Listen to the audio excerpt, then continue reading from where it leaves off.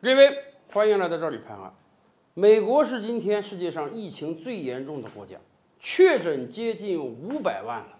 所以啊，每一个美国人，咱们这么不夸张的讲吧，有可能都是一个传毒工具。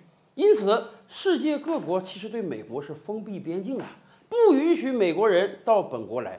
前些日子，欧洲疫情好点儿的时候，欧洲给了个名单啊，开放很多国家可以到欧洲，结果就不开放美国。美国人都很生气啊，说以往啊七八月份暑假的时候，我们美国每年有一两千万人到欧洲旅游啊，哎，我欧洲人宁愿不挣这个钱，我也不想放一两千万毒源进来呀。可是啊，美国普通人你能阻止得了？美军你能阻止得了吗？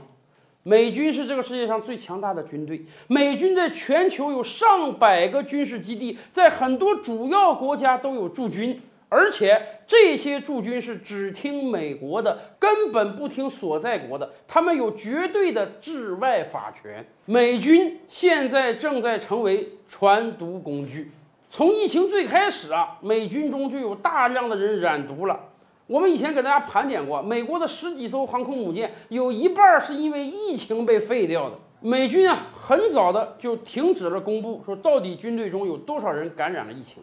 但是按照人口比例推算啊，到目前为止，美军中感染疫情的士兵不会少于三万，而且美军没有做全员的检测，可能还有大量的人早就感染了病毒而自己不知道。就说咱们旁边这俩国家吧，一个日本，一个韩国。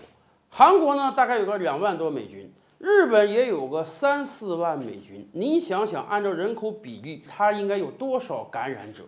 咱都不说别的地方啊，光冲绳一个地方，今天美军确诊者就接近三百个人。好吧，如果你这些美军啊，踏踏实实在自己营房中待着啊，得病了呢，在美军自己的医院中治疗，这也没啥大事儿。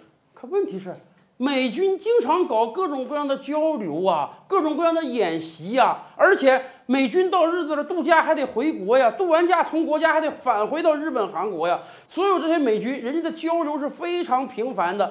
更有甚者，很多美军是直接搭乘民用航空器和民用汽车、火车的。前不久不就出过事儿吗？有三个美军啊返回到日本，日本人还跟他们说了啊，你们现在啊有可能有问题，我们刚给你检测还没出结果。你们不行，自己坐车回美军基地吧。答应的好好的，结果掉头，人家就坐民用飞机回到基地了。后来一查，这仨人还真都是阳性。这下日本人可慌了，我这一个飞机的人都被你污染了。防疫这个事儿，我们历来讲最重要就是控制输入。